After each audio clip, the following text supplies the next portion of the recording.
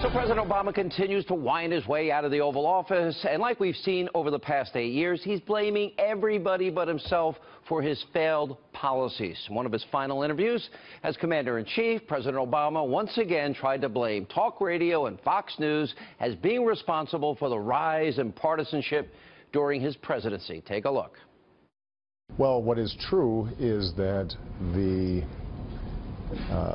the ability of Republican leaders to rile up their base, helped along with by folks like Rush Limbaugh, uh, some commentators on Fox News, I think uh, created an environment in which uh, Republican voters would punish Republicans for cooperating with me.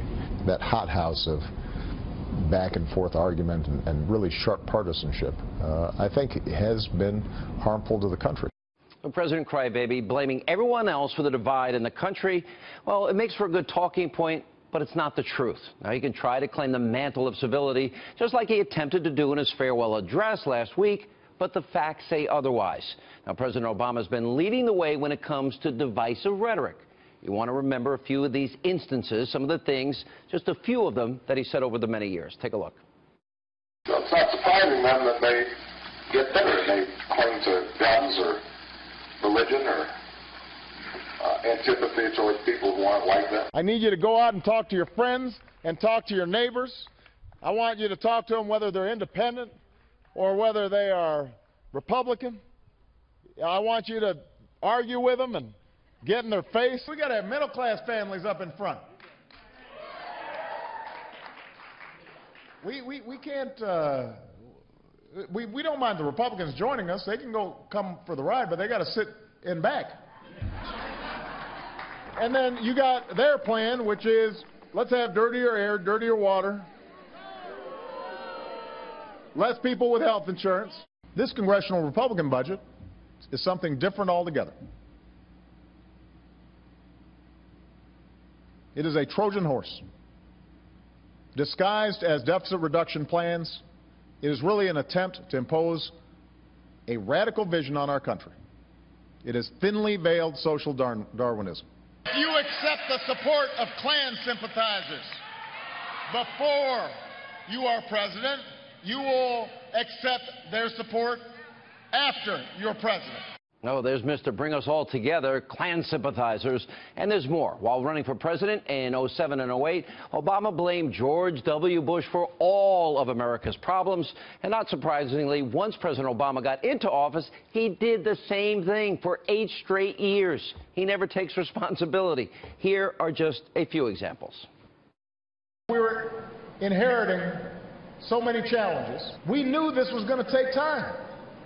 Because we've got this big, messy, tough democracy. The previous administration and previous Congresses created an expensive new drug program, passed massive tax cuts for the wealthy, and funded two wars without paying for any of it. If we had taken office during ordinary times, we would have started bringing down these deficits immediately. These are far from the best of times.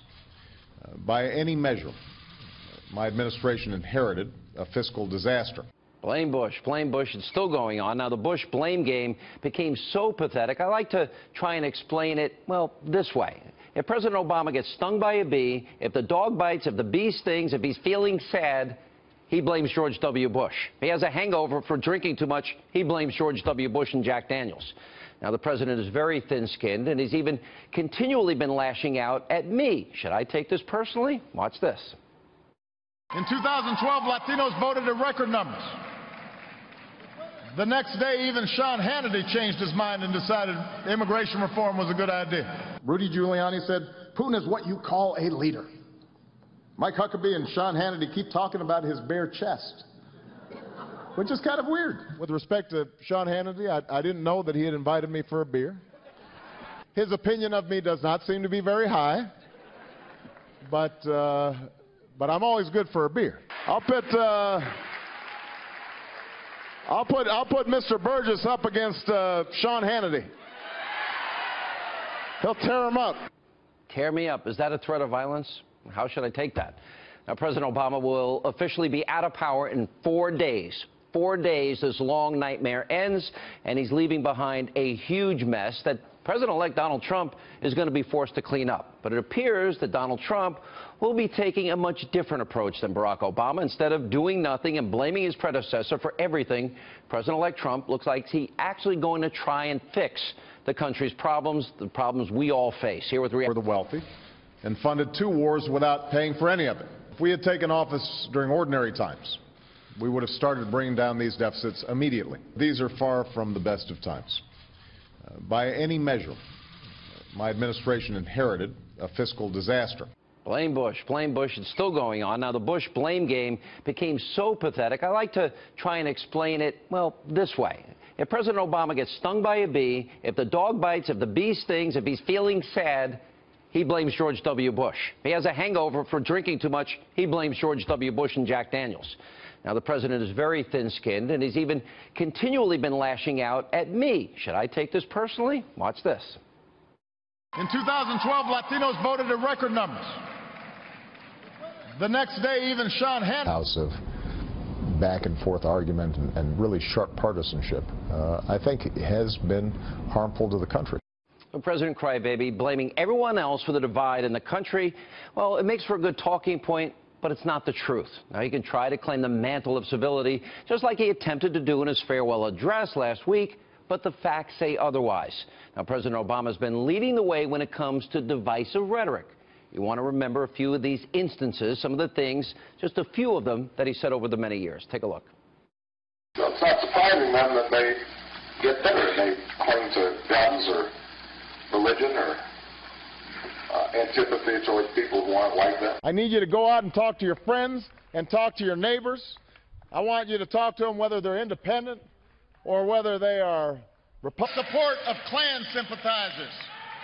Before you are president, you will accept their support after you're president. Oh, there's Mr. Bring Us All Together, Klan sympathizers, and there's more. While running for president in 07 and 08, Obama blamed George W. Bush for all of America's problems. And not surprisingly, once President Obama got into office, he did the same thing for eight straight years. He never takes responsibility. Here are just a few examples. We were inheriting so many challenges. We knew this was going to take time. Because we've got this big, messy, tough democracy. The previous administration and previous Congresses created an expensive new drug program, passed massive tax cuts. So President Obama continues to wind his way out of the Oval Office, and like we've seen over the past eight years, he's blaming everybody but himself for his failed policies. In one of his final interviews as Commander-in-Chief, President Obama once again tried to blame talk radio and Fox News as being responsible for the rise in partisanship during his presidency. Take a look. Well, what is true is that the uh, the ability of Republican leaders to rile up their base, helped along with by folks like Rush Limbaugh, and, uh, some commentators on Fox News, I think uh, created an environment in which uh, Republican voters would punish Republicans for cooperating with me. That hot Republican, I want you to argue with them and get in their face. We got to have middle class families up in front. We, we, we can't, uh, we, we don't mind the Republicans joining us. They can go come for the ride, but they got to sit in back. and then you got their plan, which is let's have dirtier air, dirtier water, less people with health insurance. This congressional Republican budget is something different altogether. It is a Trojan horse. Disguised as deficit reduction plans, it is really an attempt to impose a radical vision on our country. It is thinly veiled social Darwinism. You accept the